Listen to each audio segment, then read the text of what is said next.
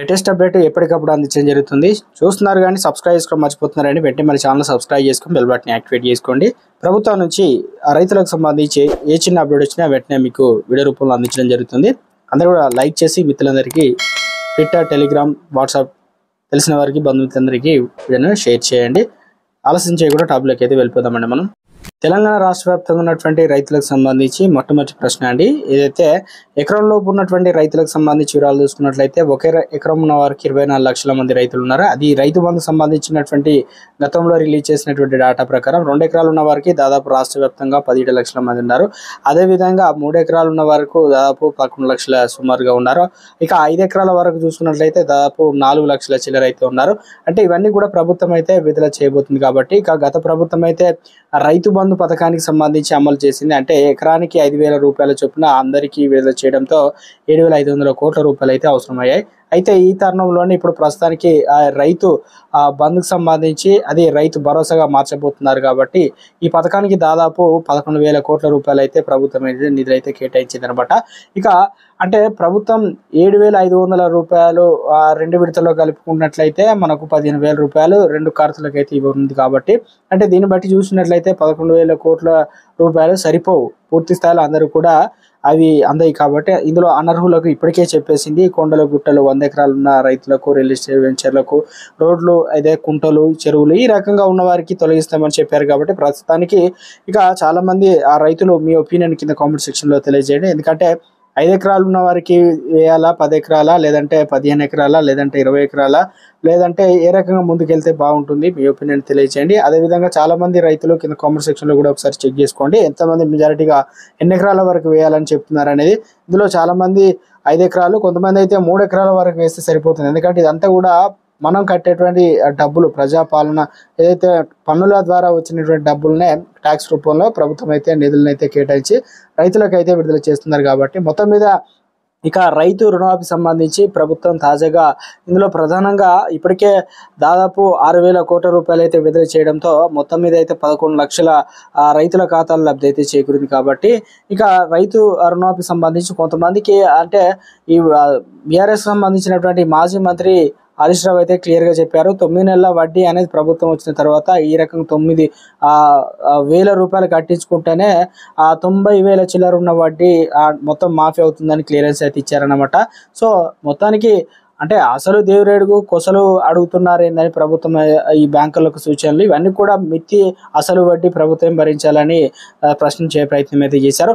ఇక దీంతో పాటు ఇక తెలంగాణ రాష్ట్ర వ్యాప్తంగా ఎప్పుడు ఏ జిల్లాలో రైతు సంబంధించినటువంటి రుణమాఫీకి సంబంధించి సెకండ్ విడత విడుదల కాబోతుందంటే ఈ నెలకరి చివరి వరకు మొత్తం ముప్పై ఒక వేల కోట్ల రూపాయలు అయితే అవసరం అవుతున్నాయి ఇందులో దాదాపు ఇరవై ఒక వేల కోట్ల రూపాయలు మాత్రమే సిద్ధమైనట్టు తెలుస్తుంది. అంటే మిగతా కోట్లకు సంబంధించి తక్కువ. అంటే ఒక లక్ష యాభై వేలు ఇప్పుడు రెండో విడత. మూడో విడతలో వచ్చేసి రెండు లక్షల రూపాయల వరకు అయితే మాఫీ అయితే చేయబోతున్నారట.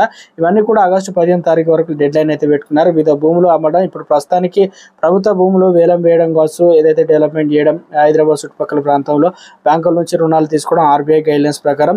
ఇక దీంతో పాటు ప్రభుత్వం అయితే తాజాగా మరోసారి ఆ రైతు బంధు అనేది గత ప్రభుత్వం ఇప్పుడు రైతు భరోసాగా మార్చినప్పుడు ఇందులో ప్రధానంగా చాలామంది అంటున్నారు ఆ మూడు ఎకరాల వరకు వేస్తే సరిపోతుంది ఎన్ని ఎకరాలు ఉన్నా ఐదు ఎకరాలు వేసినా సరిపోతుందని మెజారిటీ రైతులు అయితే అంటున్నారు.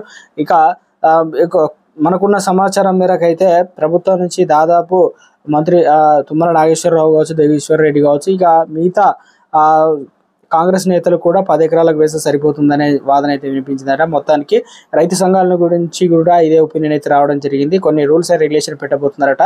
అసలు చర్చించనున్నారట. దీనికి సంబంధించి ఫైనల్గా త్వరలోనే లిస్ట్ అయితే రాబోతుందట. అందరికి కూడా నిధులు అయితే సిద్ధమైతే ఇప్పటికే కేటాయించారు కాబట్టి ప్రతి పథకానికి సంబంధించి అంటే కాంగ్రెస్ ప్రభుత్వం వచ్చిన వెంటనే ఇక వ్యవసాయ శాఖ పంటల నమోదు కార్యక్రమాన్ని అయితే చేపట్టింది. ఏ పంట వేశారు ఏంది అధికారులు చెప్తున్నారు. ఇరవై నాలుగు లక్షల పదహారు వేల ఎకరాల్లో వివరాలు అయితే నమోదు చేశారు. ఒక దీనికి ప్రత్యేకంగా యాప్ అయితే రూపొందించారు. వ్యవసాయ భూమి వద్దకు వెళ్ళి అక్కడ నుంచే సర్వే చేసి ఆ సర్వే నెంబర్లు సాగు వివరాలు ప్రత్యేక యాప్లో చేస్తున్నారు అనమాట వీటి ఆధారంగా రైతు భరోసా అదేవిధంగా పంట భీమా బీమా కావచ్చు. ఏదైతే రైతు బీమా కావచ్చు రుణమాఫీ పథకాలు అమలు చేయాలని ప్రభుత్వం భావిస్తుంది. అసలైన లబ్ధాలు గుర్తించేందుకు ఈ సర్వే చేపట్టింది. మొత్తం మీద తెలంగాణ రాష్ట్ర వ్యాప్తంగా అధికారులు గ్రామ స్థాయిలో వచ్చేసి ఇక ఆ ఏవో కావచ్చు వ్యవసాయ అధికారులు అయితే వచ్చేసి ఇప్పటికే ఫసల్ బీమా సంబంధించి పంట అనేది కేంద్ర ప్రభుత్వం అంటే పదివేల రూపాయలు ఎకరానికి అయితే పంట నష్ట పరిహారం అయితే అందిస్తారు కాబట్టి అది కూడా దాంతోపాటు రైతు బీమా ఐదు లక్షల వరకు ఎవరైతే అనుకోని కార్యాల వల్ల చనిపోతారో రైతులకు సంబంధించి వారికి అయితే అందిస్తారు. ఇక ఈ ప్రధానంగా రైతు రుణమాఫీ ఇప్పటికే విడుదల చేసింది. ఇక ప్రస్తుతానికి రైతు భరోసా సంబంధించి ప్రభుత్వం స్పష్టమైన ఆదేశాలు అయితే త్వరలోనే ఈ బడ్జెట్ సమావేశాల్లో అయితే ఆల్రెడీ నిధులు అయితే కేటాయించింది కాబట్టి త్వరలో కూడా ఈ రెండు పథకాలకు సంబంధించి తప్పనిసరిగా అప్లికేషన్ అయితే చేసుకోవాలి. పంటలకు సంబంధించినటువంటి బీమా పథకం ఏదైతే ఎకరానికి పదివేల రూపాయలు ఇది కేంద్ర ప్రభుత్వం నుంచి అమలు చేస్తుంది. ఇప్పుడు రాష్ట్రానికి ఇంప్లిమెంటేషన్ అయితే చేశారనమాట దీనికి సంబంధించి మీ ఏ పంట వేశారో అదేవిధంగా ఒక పత్రం అయితే ఇస్తున్నారు. దానిపైన ఫిల్ చేసి అదేవిధంగా మీ ఆధార్ కార్డు అదేవిధంగా ఇంకోటి మీ ఫన్ బి ఫామ్ కావచ్చు. ఇక రేషన్ కార్డు సంబంధించి కావచ్చు రైతుల వివరాలు అయితే యాప్లో అయితే నమోదు చేస్తున్నారు ఏఈఓ గారు. అయితే ఇవన్నీ కూడా మీరు ఎంటర్ అయితే చేసుకోవాలి. పనిలో పని ఈ పథకంతో పాటు రైతు బీమాకు సంబంధించి కూడా అప్డేట్ అయితే వచ్చిందనమాట ఆగస్టు ఐదు మూడు తారీఖు వరకే ఉంది ఛాన్స్ కాబట్టి రైతు బీమా అనేది ఐదు లక్షల ఇన్సూరెన్స్ సంబంధించి అదైతే అప్లికేషన్ అయితే చేసుకోవాలి. సో అప్డేట్ అయితే చేసుకోండి. దాంతోపాటు రైతు భరోసాకు మీ ఏ పంట వేశారు ఏందనేది కూడా సర్వే అయితే చేస్తున్నారు అధికారులు కాబట్టి.